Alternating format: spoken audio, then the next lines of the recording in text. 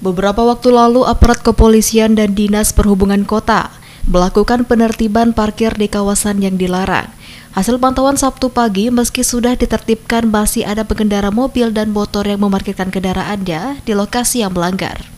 Seperti di depan Rumah Sakit Harapan dan Doa, Kendati sudah ada papan dan spanduk larangan memarkir kendaraan di kawasan median jalan, namun masih ada sejumlah pengendara yang bandel. Diakui warga sekitar kondisi parkiran pada hari Sabtu masih tergolong sepi. Namun di jam kerja kepadatan kendaraan yang parkir di kawasan dilarang tersebut sangat banyak. Warga yang menggunakan akses jalan untuk berjalan kaki juga menjadi terganggu. Sementara itu aparat kepolisian dan pemerintah kota sebelumnya juga sudah memberikan warning.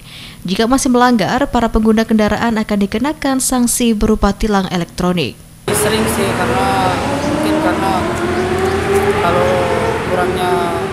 pengertian dari masyarakatnya sendiri, kurang dari masyarakatnya kesadaran sendiri parkir sembarangan, padahal ini memakan jalan sih. Ya kita mohon untuk kesadaran masyarakatnya untuk tidak mengganggu lalu lintas. Masih ada ditemukan ya bang ya?